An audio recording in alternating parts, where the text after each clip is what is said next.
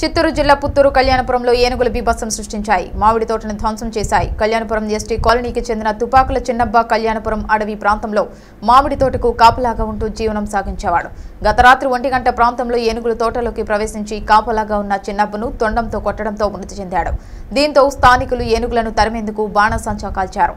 సమాచారం అందుకున్న revenue police అధికారులు సంఘటన స్థలానికి చేరుకుని విచారణ చేపట్టారు. చిన్నబ్బ మనవుడు జరిగిన సంఘటనను పోలీసులకు వివరించాడు. రాత్రి ఒంటి గంట ప్రాంతంలో అలజడిగా ఉందని బయట వచ్చి చూడగా మామిడి తోటలో ఏనుగులు కనపడటంతో చిన్నబ్బ అరుస్తూ ఏనుగులను తరమడానికి ప్రయత్నం చేశాడు.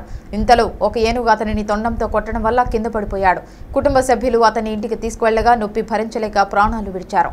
అధికారులు మృతదేహాన్ని పోస్టుమార్టం నిమిత్తం పుత్తూరు ప్రభుత్వ వైద్యశాలకు తరలించారు. ఇంత జరుగుతున్నా అటవీ శాఖ అధికారులు సంఘటనా స్థలానికి రాకపోవడం గ్రామస్తులు ఆవేదన చెందుతున్నారు.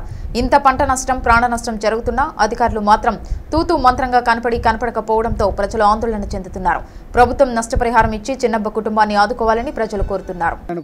కాలనీ అవుట్కట్స్లో పొలాల్లో ఒక రైతు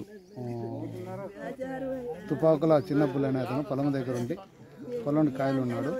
రాత్రి సుమారు ఒంటి గంట ఆ ప్రాంతంలో సౌండ్ వస్తే కన్నా పొలంలోకి వెళ్ళినాడు. పొలం తన ఇంటి పక్కన పొలం పొలం పొలంలోకి ఆ సమయంలో ఏనుగులు అతనిపై దాడి చేయడం వల్ల అతను చనిపోవడం జరిగింది. ఆ సమాచారము మాకు వచ్చిన వెంటనే ఇక్కడికి వచ్చి కంప్లైంట్ తీసుకోవడం జరిగింది. కేసు రిజిస్టర్ చేసి తదుపరి విచారణ చేసి దానిపైన కేసును ఫైనల్ చేయడం జరుగుతుంది.